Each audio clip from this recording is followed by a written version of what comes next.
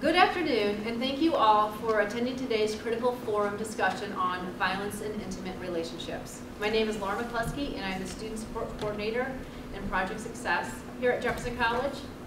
Jefferson College's Student Senate, specifically the Political Engagement Committee led by Student Senate Vice President Ryan Humphreys, organizes the critical forum discussions. These forums provide students and community members the opportunity to engage in a discussion on a variety of topics in a comfortable and safe environment. Today's topic is a sensitive one.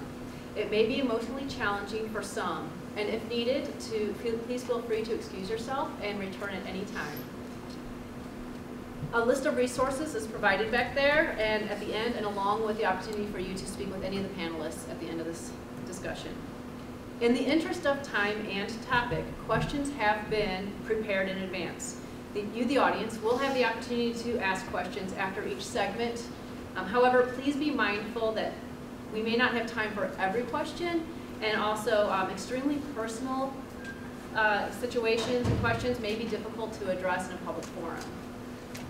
So before we begin, let's introduce the panelists. Actually, I'm going to allow you all to introduce yourselves and who you are and a little bit about your background.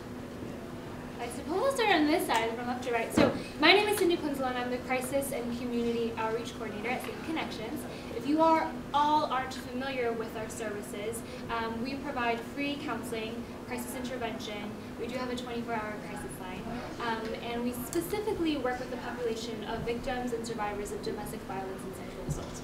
Um, it may be a ways from this location. We are only located in St. Louis City, but we do have a confidential anonymous crisis line. So folks who are needing support, wanting to get additional information for a friend, a family member, wanting to know um, more resources in the immediate area, you can absolutely call and access this 24-hour crisis line. A little bit about me. Um, I come and do community education, outreach, and workshops regarding the issues of domestic violence and sexual assault. So really engaging folks in the community around what healthy relationships actually looks like, how to be able to have those conversations and root in those values and communicating that with our peers, with our partners. Um, and then we also talk about consent within healthy sexuality and dismantling sexual assault. Um, a lot of that feels heavy, but again, important to continue that dialogue and have that conversation so that we can dismantle sexual assault, domestic violence, and, have safe and healthy relationships. Um, so that is me, and I tend to talk fast, so please feel free to like put a hand up and like pause me in order for us to kind of unpack this and for me to slow down. So thank you all for being here. Thank you. So my name is Angela Evans, and I am the community victim advocate for A Safe Place. I'm actually stationed at the sheriff's office. So um, what I do is work with victims of domestic assault that happen uh, within the Jefferson County jurisdiction. I reach out to those victims to let them know that there is resources out there to find out if they need help with uh, obtaining a restraining order, um, if they just need some connection, somebody to talk to. I let them know I'm their advocate if they need something. So it is somewhat, like I was explaining um, earlier, kind of cold calling because these victims are not expecting my call. I'm just receiving these police reports and reaching out to them. Um, also, my journey to where I'm at started because I was actually a victim of domestic violence. And in 2004, I had to um, seek shelter, and I went to a safe place. COMTREA is a safe place, and they were a huge part of my journey.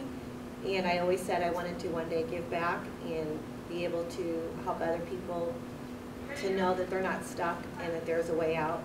Um, so it was kind of a mission I had a long time ago. And through the years, I've just had the ability to kind of intertwine my experience and education and to where I'm at today. So that's a little bit about me. Hi, I'm Sandy Davis. I'm the COMTREA counselor here at Jefferson College. When I first started here, we began doing programming about what consent looks like and doing programming like RAINN Day, where we provided information about rape, abuse, incest, and how to provide resources and how to get those conversations started on a college campus. We started off with giving chocolate hugs, just asking about consent. And it was a fun way to get that conversation started, but it's a very serious conversation as well. And then we brought the Take Back the Night um, to the campus, uh, along with a coworker of mine, Kathy Porter at COMTREA. And so that has been um, something that has happened here almost every year, so we're looking forward to having that again this year.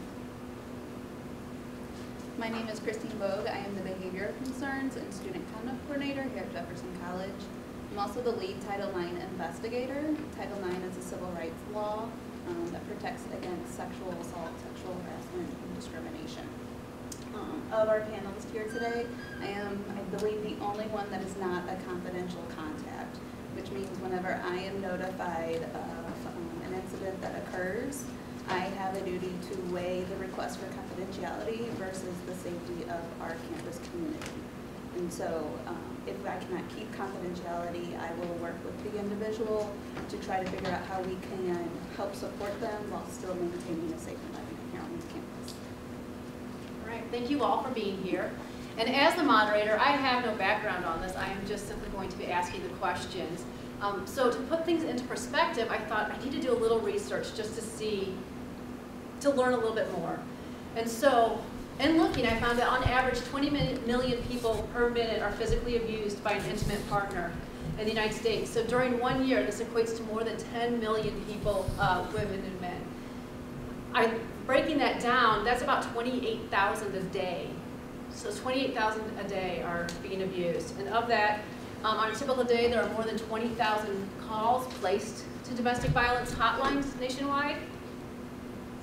But of those 28,000 a day, only 34% of people who are injured by an intimate partner receive medical care for their injury. So we're talking maybe 9,000.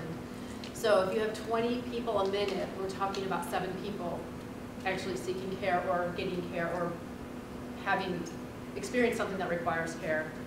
Um, and then domestic victimization is correlated with a higher rate of depression and suicide, um, suicidal behavior. So I thought that really puts some gravity behind or into this. And then um, dating violence. So what we're specifically talking about is intimate violence in an apartment, and uh, talks about physical, emotional, or sexual.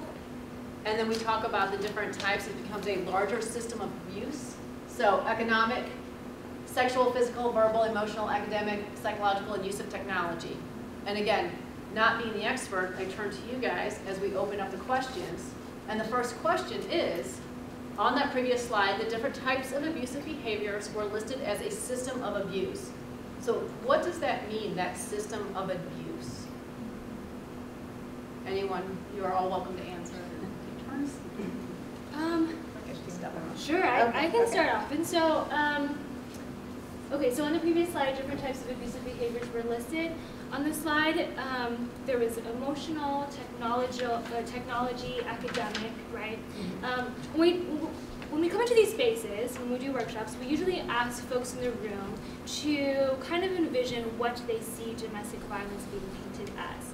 So what, what is that narrative that we normally see in media, um, in movies, um, within our own friend and peer circles, and we usually associate domestic violence or and or intimate partner violence those terms I'm going to use synonymously, okay, um, as something that is mainly physical because it's easily visible, um, it's easily seen, and then we tend to forget about the different pieces of abuse. So psychological, verbal, um, how folks, abusers, perpetrators may use technology as a form to consistently stalk their partner or former partner through the use of technology, so constant voicemails, constant text messaging, constant use of social media to find out where and what it is that their partner is doing. Um, then there's something that we don't talk a lot about in these spaces, but it's very specific to college campuses, which is academic abuse, right? Um, and so examples can be things like um, showing up in that partner's class as a form of intimidation of like, oh, I really am into you, um, and I just want to be with you all the time. But using that particular tactic to specifically isolate that person as only being able to spend time with their partner instead of allowing um, room to uh, spend time with their friends or actually like prosper and grow in academic spaces. Um, and that can also um, that can also intertwine with sexual violence, right? If there's a perpetrator or victim who is taking the same class, who are formerly intimate partners. Um, and that victim or survivor has to consistently see their perpetrator in that same class, how that can impact the way that they work in finals or midterms or be just completely available to their studies. And that's another tactic and form of academic. And so when it, asking about systems, it's not just talking about this intimate partner, right? It's the systems that are also in place, like things in the aspect of academia, and the aspect of the legal system, and the aspect of um, friends or family members who may unintentionally reinforce power and control. What I mean by that is, if a student was a victim and recognizes that they are experiencing stalking, or just may have experienced a sexual assault, and they're coming to their professor or they're talking to their friends about this incident and folks are like, well, you, you were dating, why couldn't you just leave? Or is that something that you can just like focus on later and like you have finals this week, like you're a great student, just get your head together, you'll make it. Reinforces that system of victim blaming, reinforces the power and control and isolation that that victim is already experiencing, right, in that relationship. And so when other systems in place um, uh, reinforce that, um, there's that perpetuation of violence internally. There's shame, right? They don't have access to an order of protection or transportation, or if the judges um, only look at evidence-based uh, abuse and they don't look at the psychological or the stalking, and they don't put that order of protection in place, that's another reinforcement of power and control that that survivor has to experience. And that's what we talk about systems of abuse, right? It not only happens in this relationship, but in other avenues where that victim consistently has to almost like plead for um, resources or seek support, even amongst their own friends, where folks are just like, well, then just leave. And it's not always that easy to leave a really um, to leave a relationship that has the patterns of control and tactics of multiple avenues reinforcing that relationship. And does anybody have anything they want to add? Because Yeah, that that kind of leads to the next Yeah. That was a lot, question. sorry. I was just thinking another addition to that would be financial. That's just another component that goes into it. So um, the abuser may be in complete control of the finances, so they may not be able to afford to get somewhere to get the order of protection. Or They may have taken, taken away their vehicle, so they're not allowed to leave, to, to get away from that person to go get that help. So financial is a big one too. So looking at this power to control, Mm-hmm. why does abuse happen? It's a tough one, I know, but, and it's, it's big, you know, but Yeah.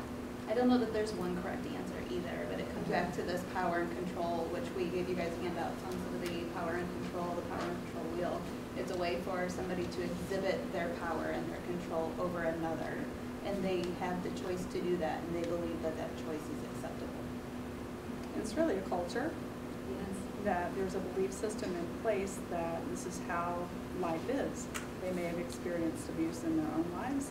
There may be some, some trauma that has happened. It may be that they don't have anything else that they are in control of, and this one person provides that avenue. It doesn't justify abuse though, right? Mm-hmm. There can be past histories of trauma, of abuse that they've witnessed, that's been their environment, that's been their understanding of the way of the world, but it never justifies abuse, right? And we talk a lot about power and control, and so with culture, there's this under this there's normalization within culture of entitlement and autonomy over someone else's body and um, choice. So if I'm an abuser, I may not necessarily think I'm exerting power and control, but because of the culture and the way that we've normalized entitlement over someone else, or potentially in which childhood experiences where we've witnessed abuse, then that again reinforces this um, idea that it is okay. When there's a lot of a deeper issue, it's really at the root of it, of really unpacking what what that means to have a healthy relationship, right? We do this thing um, with students in middle schools and high schools in talking about healthy relationships. And sometimes we bring up characteristics, and we ask the students in this space to um, to identify whether this particular characteristic is healthy, unhealthy, abusive or folks are like not really sure, right? Cindy, Actually, let me stop you right there, Yes. that gets to the next Oh, question. I'm just- I'm just answering all the So, you are just ahead of it, but what are some of the characteristics or signs of abusive Sure. relationships? So way to transition. Okay, I also want to pause. I don't want to be the sole speaker. So, is there anything else for okay, why this may Uh, happen? Well, I think there's a difference between an excluding relationship and an exclusive relationship. And it's okay if you want to just be together, but is it in exclusive from anyone else? Are you allowed to see your friends? Are you allowed to see your family? Someone cutting those ties off one by one, and you know, that, that circle of, of friends, those relationships, that's a flag. That's Right. something that you should be concerned about. Um, That's the isolation. So isolation is a big one too, that abusers will use to get you away from your support systems. And like Sandy was saying, it's just kind of one by one, they start chipping away all your support systems out there, so. That's a good point. And that kind of ties into when you said that's a flag, so we talk about the characteristics, but then what should someone look for? And you sort of mentioned that, but what should, are some of those red flags that a relationship is abusive? What should we look for?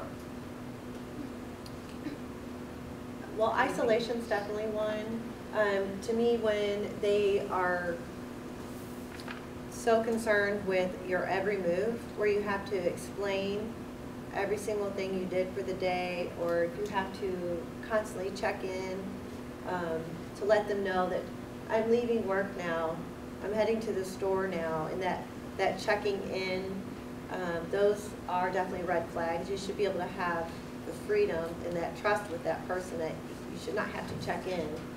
Um, so that's, that's one thing I can come up with off the top of my head. Do you guys have some red flags? I think they could be, they can become very endearing to your other intimate relationships, like parents. You know, they can be very charming. And so that allows another way for them to control.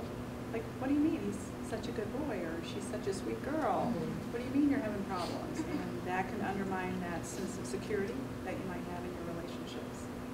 And gaslighting. So there's a term called gaslighting. Um, I didn't understand what, what that was until I went through what I did and when I was receiving the help from a safe place. Um, gaslighting is when they make you feel like you're going crazy. So for example, he or she might say, well, I didn't say that, what are you talking about? And they may have just said whatever it is you're referring to five minutes ago.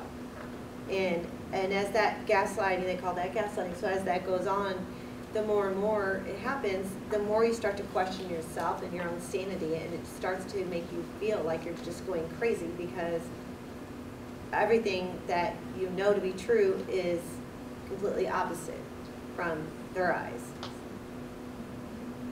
That kind of leads us back to another point that we wanted to ask about. So understanding the individuals involved in a relationship. So from the victim or abuse perspective, why would someone stay in an abusive relationship? Because I love him. I love her. That's why. We, we build relationships, right? They mean something to us. We invest, we invest time, our resources. Um, we get something out of it. We get identity. We build this narrative. And when we lose that relationship or we are afraid we're going to lose that relationship, that challenges how we see ourselves, and that can result in you know, low self-esteem. Um, if I were only better, he would have stayed. Excuse me. Um, so yeah, I think that that narrative that gets challenged in these kind of events And they is don't- unbearable at times. Yeah, and they don't start out that way, that's the thing too. It's not like when uh, two people meet that instantly they're abusive and um, doing all these abusive things or saying all these abusive things. They start out nice, fuzzy, warm, charming, and it ju- just develops over time. So I've always told people you don't fall in love with a person in a day, or at least in healthy relationships, it doesn't generally just happen in a day, but, um, so you build that over time, and so yes, you do grow to love that person, and it kind of is that, I don't say love, hate, but you know, there's a part of you that feels that this isn't right, this isn't normal, this isn't healthy, but there's this other part that has now fallen in love with this person. And so it is hard to let go of what you feel is love. Yes. So what I'm hearing is like there's hope still, right? Just with any relationship, there's like this internal hope that things will be okay, that this is my partner, that um, if we could just do something, communicate better, then therefore violence won't happen. And like we referred back earlier, it's, it's rooted in power and control. So it's not about this question, a lot of the times we hear this like, why did, why did they just leave or why did they stay? And we really need to reframe that question around like, why is it okay that we're not holding responsibility with the perpetrator, right? Like, it is never the victim's fault of what, like, why should we consistently have to question the victim of their actions in a relationship? They're coming, both people are coming to a relationship, unfortunately, one with greater power dynamics, but with the good intent that things will be prosperous, that this will be healthy, that there will be trust. But unfortunately, because there was an abuser, because there was a power dynamic, um, it, it, it really, it shouldn't be society reinforcing like, why did you stay or how come you didn't leave?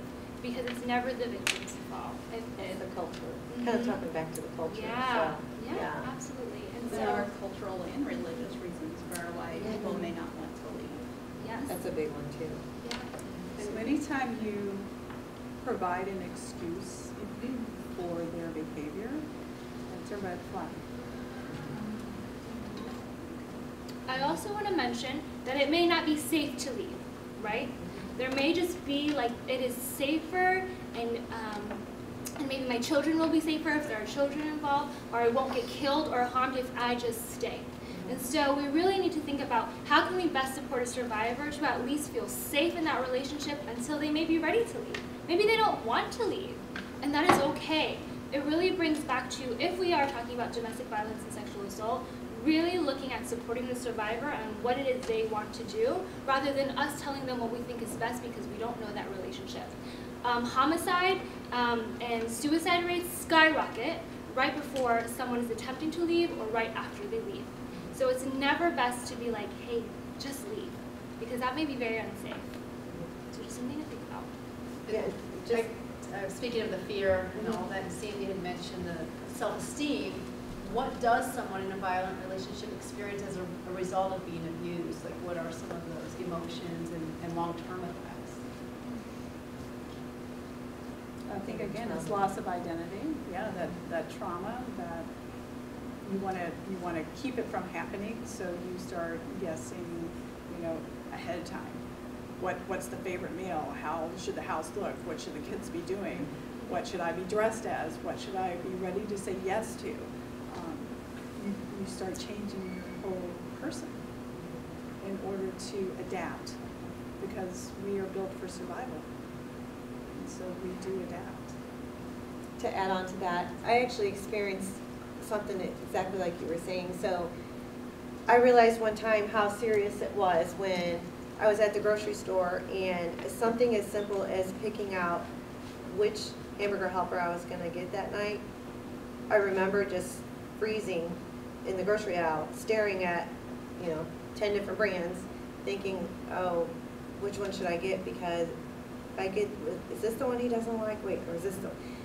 I, I was thinking ahead because I didn't, I didn't want to start something by picking the wrong hamburger helper. And so that's kind of going into what Sandy was saying. Um, just, you know, like I'm not even with him. He's not even with me at the grocery store and, I, and he's in my head. So that was something I, de- I definitely experienced. There are emotional reactions, there are mental reactions, and there's physical reactions. Sounds like that's what you're. So from the abuser's standpoint, or the perpetrator, what causes or influences one to become an abuser? I know these, again, tough, but questions that people are I interested think in. I think Sandy sort of touched on Yeah. that. Um, some of it can come from, um, their childhood. They might have been raised in an abusive home. They may have been abused themselves. They may have witnessed, um, a loved one being abused. And so it's a repeated cycle. maybe there was an intervention in helping that child growing up into that, knowing that, okay, this is not healthy. Um, That's definitely, think, one contributor. I don't know if you have others that you can think of. just societal like reinforcers, right? So culture, media, um, what we see in music videos and lyrics, um, and how um, like men are portrayed or females are portrayed. Um, and a lot of the times when we think about domestic violence or sexual assault, we usually think of the binary that usually usually perpetrators, women are usually victims. But um, there are multiple identities and folks who can experience violence, including men, including folks within the LGBTQ community. And so, um, yeah, it, all, there's a lot of things that fall into the reinforcing and normalization because we're accustomed to seeing all of these different outlets and it almost like justifies violence um, because we see it all the time and we almost kind of like put a cultural root to it because it, you know, like we see it we don't like actually um, challenge that or have these conversations. So that's why this is important and that's why if someone says an inappropriate joke about sexual assault, like just intervening or um, the same with domestic violence, right? Like shaming men for disclosing because oh men can't be abused. That reinforces that idea that um, folks can't experience violence, and so it's that cultural thing. Being part of this discussion, being engaged, and actively learning about these topics really slowly dismantles that culture and hopefully shifts the idea of like just supporting folks. So. There's this idea of resilience as well, that people learn as we're growing up. You see kids, maybe you've experienced this thing that you really wanted and it didn't happen. And maybe you were sad or maybe you were destroyed. And as we grow to be adults, we should be getting that skill level to be more tolerant, to be able to bounce back. But for some individuals, they're not able to do that. And so they go from zero to hot immediately. And it doesn't provide a reason.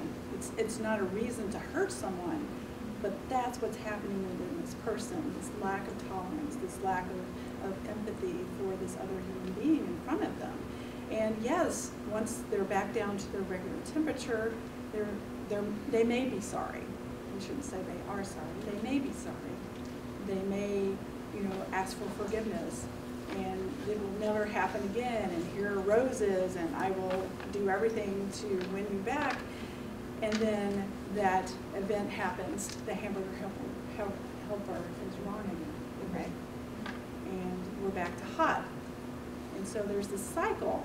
And intervention is really important because people can learn those skills. We don't want to paint this bad and good here either. It's people need a skill set, and that's kind of where we are. Sandy, I think you actually answered this next question is why would an abuser apologize and then abuse again? And so it's about learning, having that skill set. Is there any more you want to add to that? Does anyone want to add to that?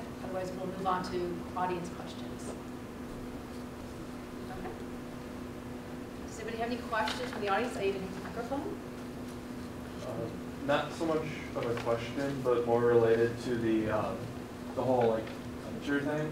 Um, I was actually on like Facebook the other day and I watched this one video and it was, uh, basically, it was a social experiment where it was this couple and they both did the same thing to one another in front of, uh, random strangers and people would intervene whenever the man would harass or treat the woman poorly, but whenever the woman did the exact same thing to the man, a lot of the time it was like people were laughing and like encouraging the woman to do it, uh, not identifying that if the tables were turned, it would have been considered inappropriate by many of those people. Just something that I thought of whenever you were mentioning the uh, culture part. Yeah, yeah.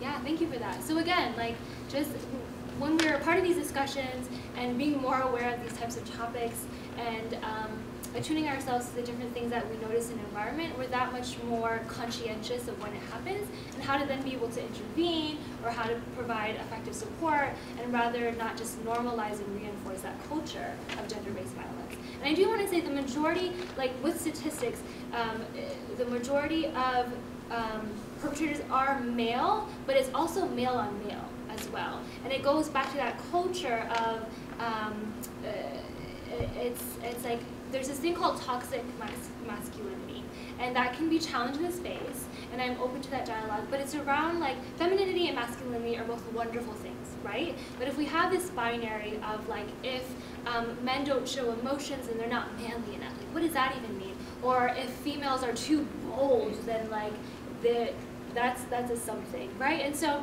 it's looking at like why do we have to put each other in boxes? And we and, and folks and human beings can have both of two of amazing, wonderful characteristics, right? And if we reinforce like um, that the that entitlement um, in, uh, with domestic violence and sexual assault over someone else's body or being, then it goes back to abuse. And so I know I went off on a tangent there, but um, again, it just goes back to like being attuned makes us more aware so that we can then intervene and support us. So thank you for that, for sharing that. Any more questions?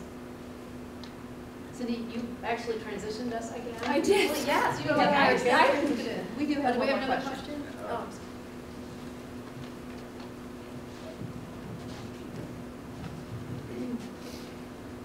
At one point near the end, you had mentioned, uh, around the clock, uh, with apologizing and then doing it again. You made a comment about how it's not entirely black and white. What is the, uh, idea on people, on the abuser actually changing? Because I don't I don't imagine that the spouse can change them because they don't have the, because they're trapped in a power dynamic that makes it impossible for them to affect change. But outside of the spouse, the ability of others through active reinforcement of, to, uh, uh, because whenever I see it in like social media, it's pretty clear that person's bad and it's okay if, even if it leads to the person being killed for being an abuser, that's fine because they're just an abuser. That's the, that's the only way to see them in some social media. So, one thing um, that comes to mind is there are programs out there. Some can be court ordered, so if a, um, a suspect that has caused some kind of harm, some kind of domestic assault, um, they can be mandated by the courts to participate in a batter's intervention program. And those are not just in Jefferson County, they're in St. Louis County, and um, I know there's probably other programs besides that, but that is true, that there also needs to be, there needs to be um, a piece to this puzzle that is also there for the perpetrators, for those suspects, because it, you need to get down to that root problem, because, you know, people can change. I mean, there's, there's proof out there that people do change, and they can. Um, There has to be a will and a want, and sometimes it's kind of forced through these mandated court-ordered programs, but um, there are some things like that. And there are support groups and things for um, the batterers that they can do on their own as well. Any more comments?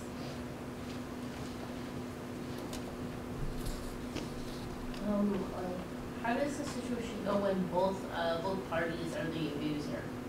Like, um, how do you like get help from that? Because both of them are abusing and they're not gonna want, like, to get out of it because they're both getting that power and that control.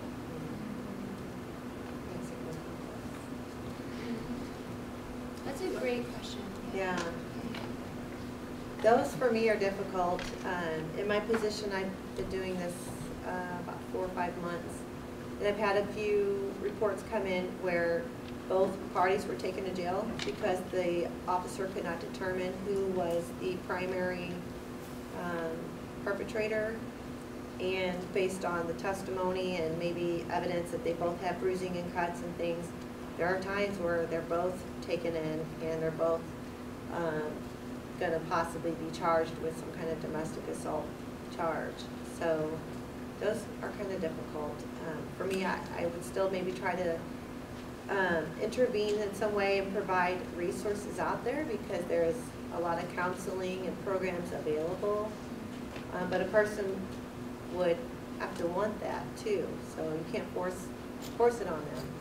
Um, I don't know if you guys have anything more about, like if both parties are, Well, I think you were a friend of this person, just kind of having that conversation about how is this affecting other areas of your life, you know?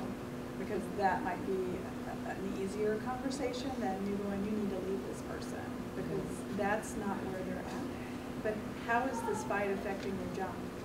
How did you having to stay up all night yelling at each other affect your classwork? That kind of conversation might be the start.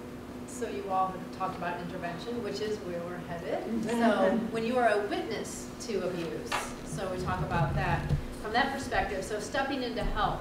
So what should, and you've already addressed this, so I may just put all the questions up, um, because you guys are doing a great job covering it though. Uh, so what should a friend or family member look for as a sign that their loved one is in an abusive relationship? So we talk about from the inside, looking at the red flags, am I being controlled, but like Sandy, you had mentioned that they may be charismatic, and so they may be able to fool everyone else. Are there ways to see that from the outside, to see that that person's not who they are? Well, I would look at behavior. You know, I've noticed you're not coming to class. What's going on? I've noticed you're not attending church or whatever the behavior is. That's where you can notice. You don't want to get in your head. You don't want to make assumptions. But using those observation skills and those I statements can provide an opportunity for that person to know that you're aware and that you care about them. And so it's a good place for you to be a support system. Because if you go right to the heart of it, sometimes people, no matter how bad the relationship is, it, the relationship wants to survive. Okay? It's like an entity. And so you want to be able to provide the person that's hurting, or maybe even you're the friend of the one that's the perpetrator. You know, hey, I've noticed this. Is there anything going on? Just starting that really soft conversation. I think also that was great. And also just, um, I statements are huge. And then just like naming your gut feeling and saying like, I'm like really worried about you, genuinely is there anything that I can do? And sometimes that creates opportunity for folks to share if they feel safe and comfortable, or if they don't feel safe and comfortable, at least they have an inkling and idea of who is a safe and trusted person in which they won't feel judged, they won't feel shamed, and could potentially use you when they really need. And a lot of the times, um, as much as support folks want to like be savior and be the person to help um, remove their friend or family member out of that situations, um, that may not always be safe and it may not be what the survivor wants. So just again, using those I statements, I've seen this, I'm also really worried about you. Is there anything that I can do? And if not, know that I am here.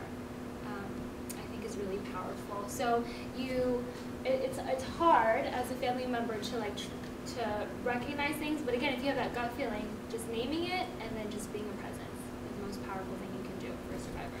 So if they are aware, and you talked about the I statements definitely be one way where you're addressing it to the person, but how can someone help a friend or family member who is being abused outside of perhaps those I statements of saying, I recognize this situation outside of that? Or should they? I think some practical help, like, hey, I can watch the kids for you. Hey, do you need dinner Thursday night? You know, do you need help with the laundry? I'll be glad to come over and fold towels. Um, just being really practical because, you know, we all have those friends that just call me if you ever need anything, right? Mm-hmm. but we never call them, mm-hmm. really. But if someone says, hey, I'm bringing you dinner, which night do you need it? Mm-hmm. That gives them an opportunity to kind of choose their out. And there's definitely, you know, a lot of resources that can be tapped into. Um, They could get counseling, there are support groups if um, they are ready to leave. There are shelters for uh, abused women and children. There are also some shelters for men. Um, Some of them may have a safe place to go that's not at a shelter. Um, But just continuing to be that support in what is their safety plan, because everyone's safety plan and their escape and their exit and the way that they need to leave is different. So for me, I had to, I had planned mine out. I knew where I was going, but it was gonna be almost a full week before I could actually leave. So, um, I had to be really, uh, strategic the whole week and careful in how I, I didn't want him to realize I was leaving because I was afraid of what he would do. So, um, everyone's safety plan looks different, and like she said, that sometimes it might be staying. They might, um, if they have children especially, that's even tougher because then they're worried about, well, if we separate and he gets the kids, he or she gets the kids, say every other weekend, then I can't monitor what he's doing with, the- he or she's doing with the children because they're gonna get half custody or joint custody. And I'm worried that he or she is gonna abuse the children and try to get back at me through the children. And so that is a huge factor as well when there are um, children involved too. So I think just being that support. And I, I would go back to the power and control, and the, the abuse is a power and control, so any support that you're offering, offer it in a non-judgmental way, but don't come in and tell them what you're going to do for them either. Um, because then that's just you taking over the power and control. Like, empower them to make their own decisions, and that's gonna keep them safe. What about a witness? Should a witness intervene if they see someone being abused? And this kind of comes to your example of when people did or did not step in. Think about this, it's on us. I, yeah, the, I think that we should be intervening, I, but first and foremost, we need to make sure that we're doing it in a safe way, that we are maintaining our own safety and the safety of those, um, that are involved. And so, um, you know, like when people leave, it can be more dangerous. Um, intervening could potentially be more dangerous, and so we need to just assess the situation. But intervening doesn't mean that it has to be you. Intervening can be calling the police, or if you're in the dorm, calling an RA or housing staff. And so there are many different ways to intervene. I think that kind of gets to some of the possible consequences that one might face by intervening. So you already addressed, you know, addressing your safety and making sure that you're not putting the other person in danger. Are there any other consequences, relationship consequences or anything like that that we should be aware of? We can try your best to be a good friend, and that may still not be enough to keep that friendship, because they may cut you off, because they don't really want to hear what you have to say. So, I mean, you could lose a friendship, um, but sometimes we have to do what we need to do. Um, They'll still remember that you tried to be there for them, and at some point later, they may reach back and say, hey, I'm ready to renew this friendship. So that's a possibility. Um, And sometimes that's a scary option for us, that we don't want to make our friend mad. We don't want to say, hey, I've noticed this. But again, I think going with that gut, you know, we need to, to make those statements to our friends and, and let them know that we care about them. Because, you know, if we love them, you know, love is action. It's something that we do. It's not just a feeling. We need to act on those feelings. Yeah, and I think, um, as Kristen said, or Christine said, not in a non, not in a judgmental way. So we want them to know that we don't judge them if they choose to stay or if they're ready to leave. We don't judge them if they're just not sure.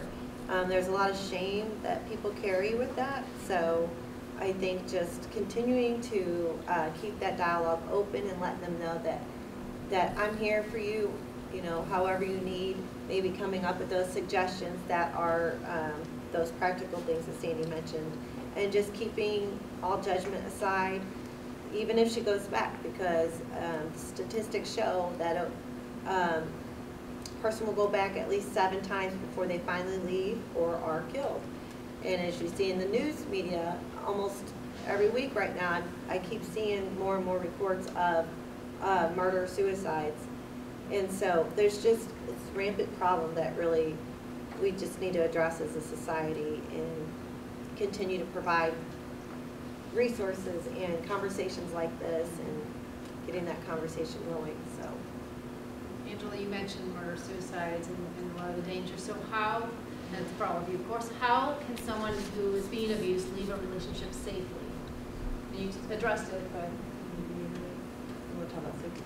Yeah, Yeah. sure. If everyone feels Yeah. So um, safety planning is like a buzzword that we use.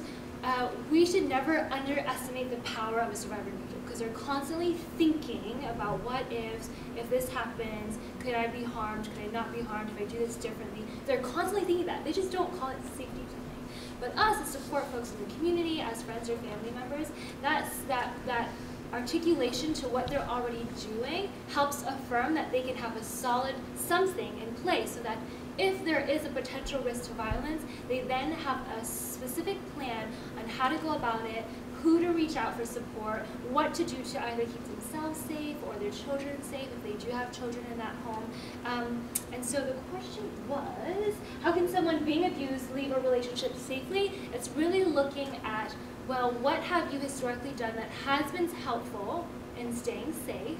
Can you do that again if a situation, um, if you're in a situation of at risk to violence, whether that be like being in a room and closing the door and locking it until your partner de-escalates? Or does that mean actually calling police until they arrive and you feel safe and comfortable with that?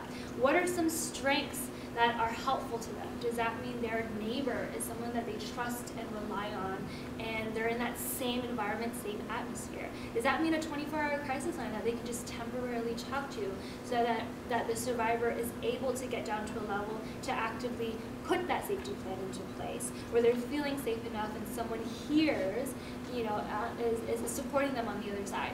So the safety plan is really looking at what are some factors that may put that person at risk um, and looking at factors that can be beneficial like support systems, friends, family members, community members, faith members, um, so that in case anything happens, they know who to call, what to do, and how to stay safe. Okay? And that can be helpful in potentially preparing to leave if they want to leave. And if not, at least they know what to do um, in that moment so they're not being harmed. That's helpful. Because anything else? One thing I thought of, um, something I had learned from a safe place was to have things prepared ahead of time. So if you know, if you have an idea that you're wanting to leave or you will be trying to leave soon, is making those extra copies of those important documents and um, maybe at some point trying to get them to a friend, a neighbor, a family member. Important documents like your birth certificate and things that you don't always have on you. So if you had to leave in a moment, you, you may not be able to go back and get those important documents.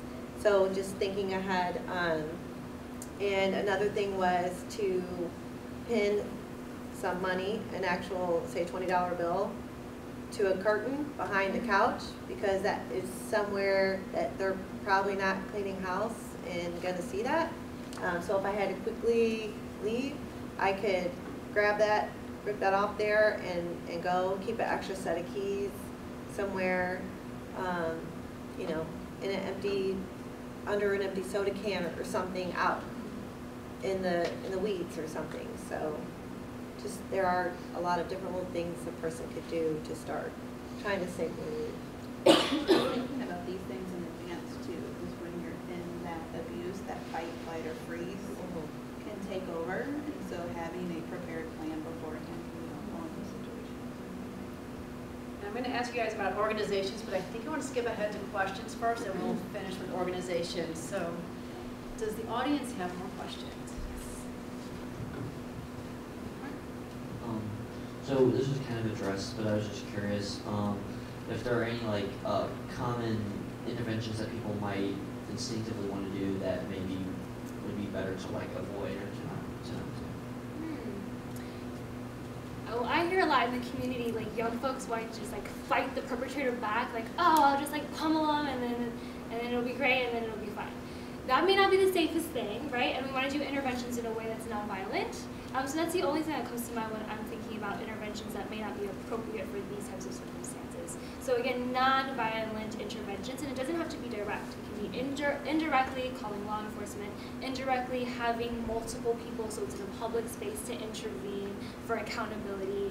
Um, it can be there are there's so many other creative ways to intervene where you don't have to compromise your safety or start to feel unsafe in order that you be able to be effective in supporting someone else. I would go back to and letting survivor decide what is safe and for not to make those decisions for that person. You're going into their home and packing their stuff. Right. Me, Right. I'm not a player. Right, especially if they return, because they may, they may end up returning based on that statistic. And then that could cause further uh, fighting and arguing because he's going to be, he or she's going to be upset when she comes home. So, uh, just a quick question about, uh, interventions or trying to communicate to the person. Shy of calling the police, what exactly should you do if it's not possible or almost impossible to get along with the victim? Will the abuser isn't going to be, put because there are going to be instances where the victim can't even have people over or can't even leave the house unless they have the guy with them or the woman with them.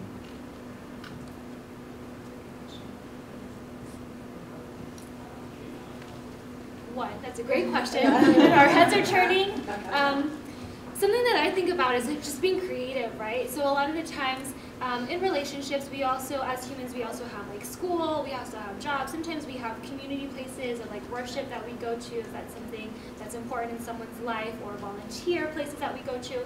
So something that we talk about with our survivors who call into the crisis line is we tap into those creative outlets. So I know that your abuser may be with you most of the time, but can you think of particular moments where they're not? So at a doctor's office, your appointments, can that be a safe and comfortable option for you to talk to someone and then reach out to somebody? May not necessarily be the police right away because there might not be an immediate um, uh, instance of violence at that moment, but to at least call a crisis line for support, to talk to someone, um, to get a number for like a resource in the community. Um, so it's being creative at the different avenues in that someone's life and seeing like at that place, is that a place that you feel comfortable talking to someone and then maybe potentially reaching out to a resource? Um, is that helpful? I think so. Okay. is, was there anything else? I think on to that is that um, a lot of medical doctors are asking those questions. Are you safe at home now? That's something new that has, has come out of this movement. Um, My brother-in-law, he just retired, he was a doctor. He was amazed how many people were not safe when he started asking this question. And so resources had to be made available in his medical office. And this is just one office. Think of all the places that we go and we get our medical services and those questions being asked now. There's another opportunity for someone who is in a difficult situation to get help. And that reminds me of, um, at Mercy in Festus, um, there are in the bathroom stalls behind the doors, at least someone was telling me about this, that there are, uh, signs saying if you're in an abusive relationship, you can call this hotline number. So let's say he or she never lets them alone by themselves, but when they're in a public place like that, for the most part, they're probably not gonna follow them into the restroom. So if they are allowed to go in the restroom alone, then that's, I think that's very creative, because that might give that person an opportunity to, oh, I, I need to call that number and put it on something in their pocket.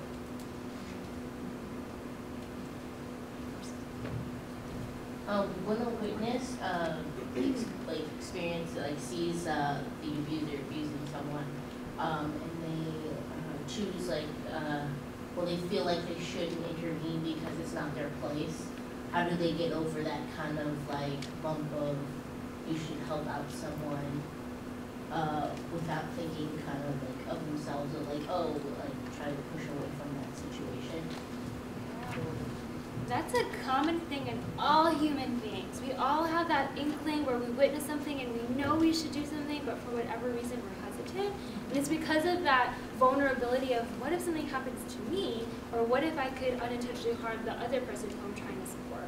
And so, um, one, the fact that you have insight and acknowledgement of that already is powerful enough to know that it's something you want to work on, and you can start in small increments. It may not have to be like a moment of violence where you see something and you like have to step in. It can be doing little things like coming to these conversations. It can be doing little things like starting a club on campus around like, hey, what can we do as students to really create safe spaces on campus so folks know that there is accessibility and resources available. Um, and those are small little ways that we're intervening in a bigger system. Um, and if, if you are noticing like a one isolated incident of violence um, and you're alone and you feel uncomfortable, find someone in that public space where you can be like, hey, can you come with me? I'm really worried about that person, but I, I feel unsafe. Like, can we do it together? And usually there's power in numbers. And because there's power in numbers, the perpetrator will also feel um, intimidated and actually like harming someone. That can be a great way to get support. Um, so there's multiple ways, and that's wonderful that you're already thinking about how to be able to be a bystander um, and a support person. I think that's great. We'll do one more question. And move on to the next segment. So, one thing that was mentioned earlier is like the technological uh, abuse side of it. Uh, and then also talking about like hotlines and stuff. With the fact that like uh, payphones aren't really a thing anymore, and a lot of the time abusers will sort of monitor the phone use of the abused. Uh, how would you recommend people to like safely make these crisis phone calls whenever they're constantly monitored and uh, anything they do on their phone can be checked online even if it's deleted on their phone, stuff like that. That's a great point, and it's very tricky. It's very tricky um, because technology is, it can be a wonderful thing, but it can also be very abrasive in, in um, domestic violence relationships, right? Where the abuser does monitor, knows everything about it. Sometimes they're unaware that there can be spyware on that on that victim's phone, and the abuser is monitoring everything without the victim or survivor even realizing. So to help mitigate that, um, ah, God, it's tricky. And one thing that could be done um, is like getting a pay-as-you-go phone and having that part of the safety plan and having that hidden if it can stay hidden. Um, some of the websites that you go to, there are like quick escapes. Um, so those are sometimes options. Um, but if there's a chance to get to like a public library or a public place or using a friend's phone or something like that, um, could be helpful as well. Okay, thank you guys, these are great. um, Pieces of information. So I, we thought one more way to go, one more direction to go with this would be the aftermath. So once you do escape a violent relationship, so how do you go about the process of healing? What can someone expect to experience after leaving an abusive relationship? We talked about how we felt in it, but how are we gonna feel out of it? So I can speak on my own experience. Um,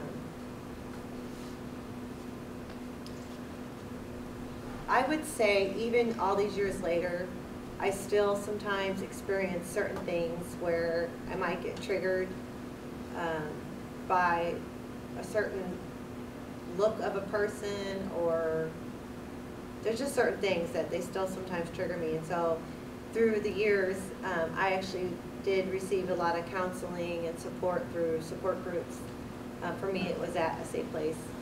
And that did really help me in my journey learn to start, uh, it empowered me to be able to gain my security back because I was so insecure and to, to gain um, just being able to trust my own decisions and that decision making because I was given that back when I got out of that relationship.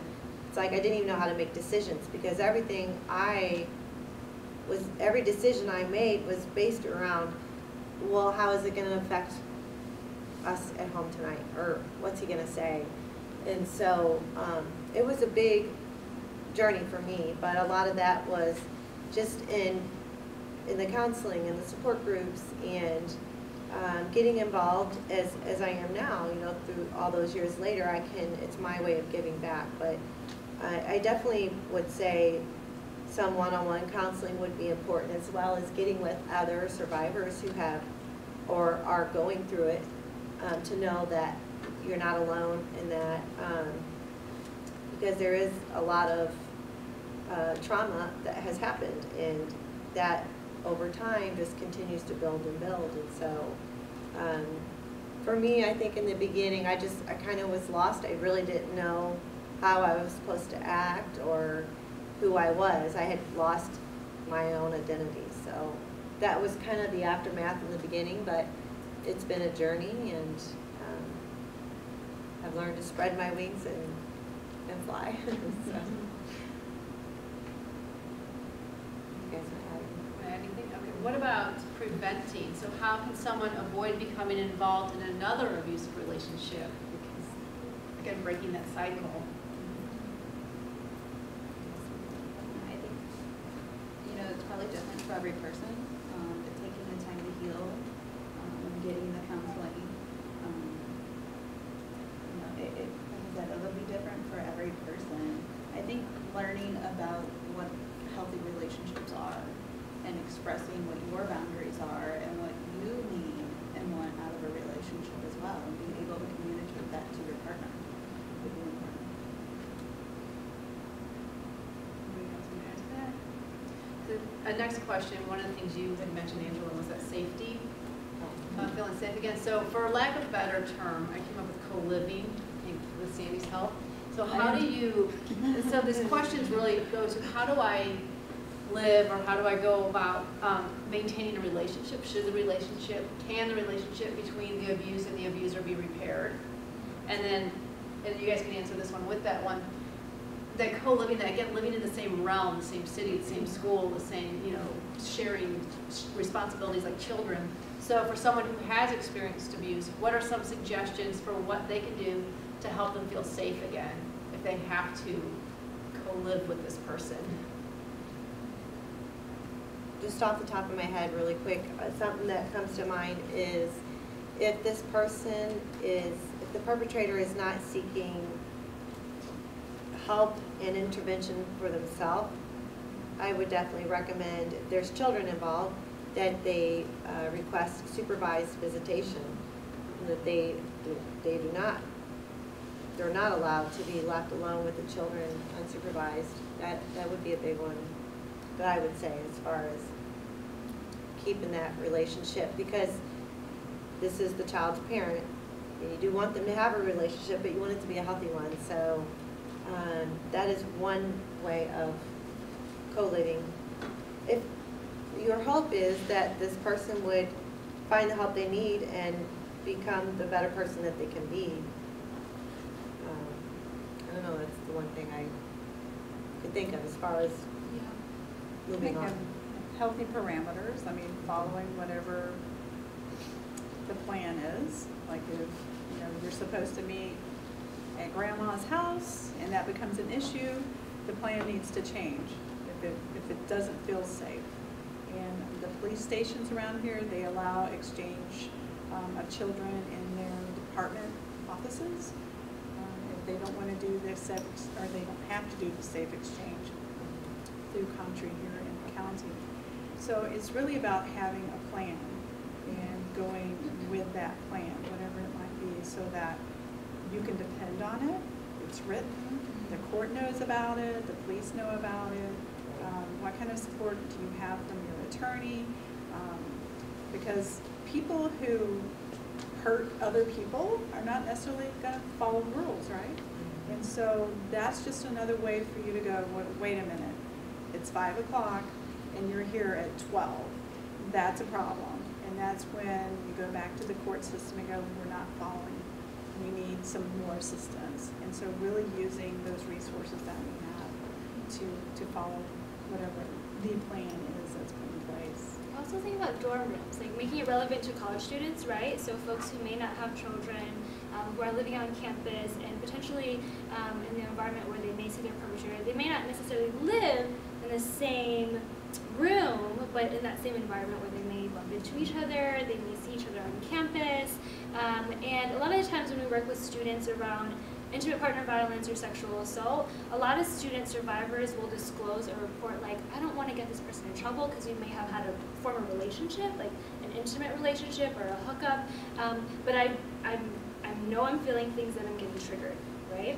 And so it's, it's going back to that plan, like, well, in circumstances where you might have to bump into that other person, um, what can you do to stay safe? Does that mean just like taking a step away to breathe? Like if they attempt to talk to you, does that mean just like walking off and then going to a counselor's office to like unpack and debrief? Does that mean like talking to your RAs for support around like, hey, I'm not really feeling comfortable in this environment. What are some places available, some rights for me in order that I feel safe? Um, and like just being really open in communication because sometimes law enforcement, community support systems may not feel safe for everyone due to like identity or past experiences with community trauma. So it's really looking at that person around, okay, well, what are you comfortable doing and how can we work around those comforts? And how can we still be creative around making you feel safe and comfortable, knowing that maybe like an OP isn't accessible and maybe that just means like breathing for two seconds, before you go out of your dorm room, before you go into the world, so that you feel emotionally safe. Sometimes it's not just physical safety, it's a lot of the times emotional safety, so that when they're emotionally feeling safe, then their environment then feels safe. So it's really looking at what do you need um, and how can we at least have an internal plan. It doesn't have to be written down, but just in case you're feeling triggered, you can put that into place and then take care of yourself. That's good. And we can help with some of that on campus too, and like readjusting student schedules or offering like safety escorts across campus. Um, and so there are things that we can do on campus too, and so we want to work with an individual and what we can do as a college to help people feel safe. And then if we're reasonably able to make that happen, we will do that. Um, we've had some students before, and we kind of touched on it earlier, on having your documents or having your things in a safe spot. We have lockers on campus, and so we've offered locks to students so that they can lock up their books here some of their personal belongings so that it's in a safe spot here on campus for them. So if there's things that we can do as a campus to help support, we try to do that. We'll open up to one last opportunity for to ask the panelists some questions, and then if you all would go over some resources for victims, of would be great. Um, God, if you shoes aren't fast enough. um, so one question I had, um, several of us are officers in clubs or organizations here on campus. Um, what do you think is something that we could do if maybe one of our members comes to us, uh, about, uh, an issue that maybe they had, you know, that they had a sexual assault happen to them in, a relationship or something like that? Um, what do you think is the best way to, to address that and to move forward? I think being non-judgmental, um, and then supporting that survivor, um, and letting them know what their choices are, um, and then letting them know who those confidential people are on campus. Um, so that's Sandy, she, you can go to Sandy. If something is reported to anybody on campus other than Sandy, they're supposed to be reporting it to our Title IX office. And that's where it triggers a, we have to assess if it's a safe community for other people. And sometimes that jump can be hard for a survivor if they're not ready to tell their story. And so offering that non-judgmental support and letting them know what resources are available to them. So, in the past, uh, I've actually seen, uh, the cir- like the little circle thing kind of reminded me of it.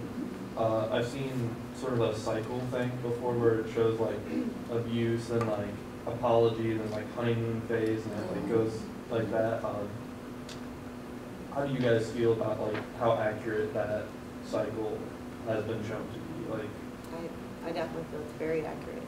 I could always sense when it was getting ready to be the explosion stage. I just, I would feel it in my stomach, I could tell by the tone of voice, I could tell by the walk, I could tell by the way the door was shut. I could sense when it was getting ready to happen.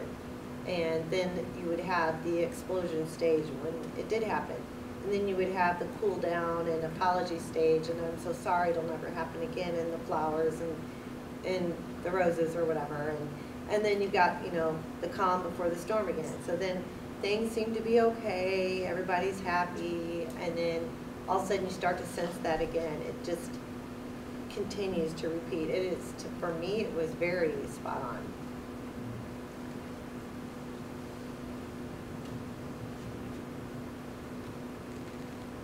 Uh, He had mentioned the wheel, which uh, reminded me of a question that I had that would probably be better in one of the earlier segments.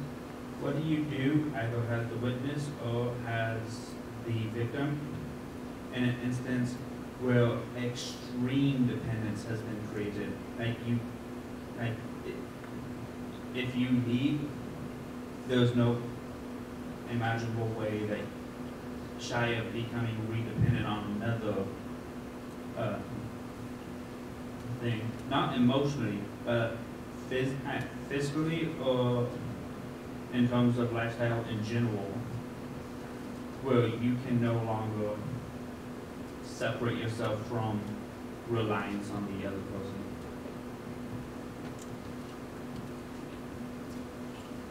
So there is a shelter in Jefferson County. Uh, it's a safe place, um, which Angela has mentioned earlier. Um, and they're also working on, um, having transitional housing. So that's Mary's household at a safe place.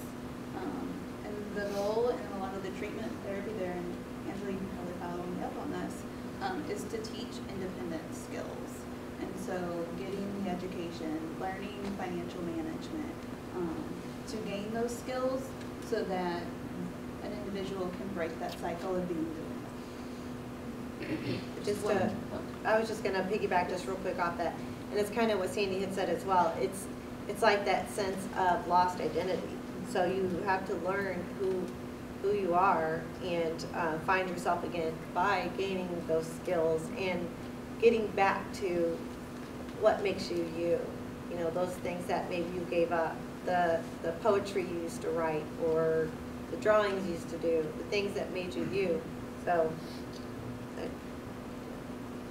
more question, then you guys to have some time to talk about resources available, because you Um, mentioned some. Um, I just had a, a good question. In one of my classes, uh, they talked about how some states, not Missouri, um, but just some states have mandatory, uh, reporting for domestic violence. Um, do you think that those laws tend to be more beneficial or more harmful? Uh, we see that it can be harmful. So mandatory laws were in a situation of familial abuse where the survivor, um, the spouse is um, receiving the physical abuse, but children in the home are witnessing. So if someone who has to mandate report that puts a survivor in an, uh, a situation that may escalate violence, um, could um, uh, potentially displace the children, but it's not the fault of the survivor, right? They're in that relationship um, because in their mind, in that moment, that was the safest thing for, for that person and their children. And so I've seen it on the hand of being detrimental for a survivor because it really takes away their power and control and it puts someone else in the decision-making process um, and reinforces what the abuser is doing. Um, it could potentially be beneficial if someone is willing to leave that relationship but didn't know how and then the state intervened. Um, it really depends on that survivor. Yeah, and it's hard too. So like us as a college, we have a duty to protect all of our students. And so um, that's why our employees are required to report whenever they become aware of something. We want to make sure that we're getting the resources to the survivor, um, but we also want to make sure that we're stepping in and making sure the rest of our population is safe here. Well, first, thank you all for coming out and speaking to us, giving us some insight into domestic violence and abuse, and also some strategies for intervention so that we don't have to just be witnesses, we can be proactive and help someone. Um, And so, again, thank you to our panel, and I want to give you all an opportunity to ask questions individually if you feel you need to, but before we get to that, please list some great resources, we've already mentioned a number of them, but list some resources available to us, so in case we are victims or we are witnesses, we know where to go. Yeah, so I can, I can start. So Safe Connections, a 24-hour confidential anonymous crisis line. We have crisis lines back there. I always encourage folks who are leaders in your community to take a few, hand them out to folks, keep them in a, a space that allows students um, readily encounter. Um, we also have free counseling services for folks who are part of the LGBTQ community and experience um, harassment, bullying, or abuse for victims of domestic violence sexual assault. And then if you're interested for continued education workshops, we also offer those things for free. So Safe Connections has a ton of services and all the brochures and pamphlets are back there on that back table. Um, so I did bring also a couple brochures. One is a safe place Um, This is a shelter in Jefferson County. It's the only uh, women and children shelter in Jefferson County at this time um, for um, victims of domestic abuse.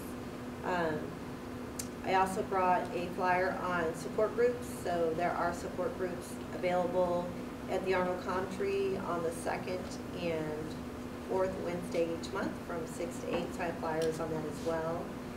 Um, And we have a twenty-four hour hotline, also a crisis line at the shelter as well. So probably a lot of the same services that you were just speaking on, piggybacking on that.